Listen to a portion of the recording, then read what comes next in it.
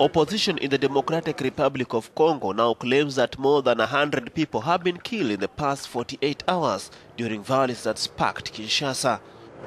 Thousands took to the streets of Congo's capital, Kinshasa, on Monday to oppose an election delay, which they call an effort by President Joseph Kabila to stay in power beyond the end of his mandate in late December.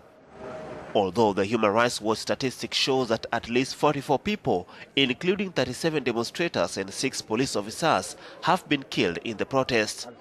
The Human Rights Watch further revealed that 20 people were killed in clashes on Monday and another 17 on Tuesday. Though the government of DRC maintained that the death toll stood at 17 and that Human Rights Watch statement was a typical exaggeration by the group.